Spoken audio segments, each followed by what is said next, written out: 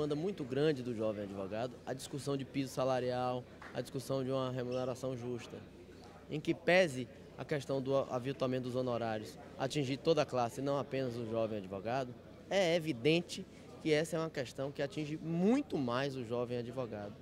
Então, nós trouxemos aqui uma abordagem econômica, uma abordagem jurídica e propusemos ao Conselho Federal que se crie uma política para o advogado associado, porque o advogado associado representa hoje 90% dos jovens advogados.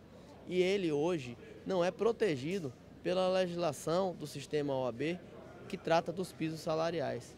Então é preciso que o Conselho Federal se debruce sobre essa matéria e estabeleça uma política para o jovem advogado.